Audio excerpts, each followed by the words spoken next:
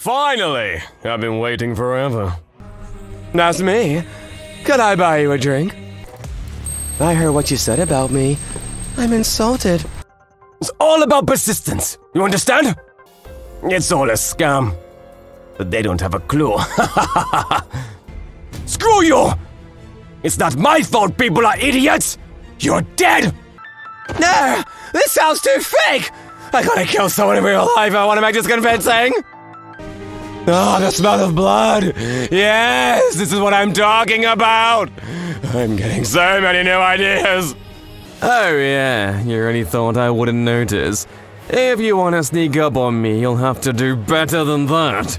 You little shit! You got a death wish? Fine by me!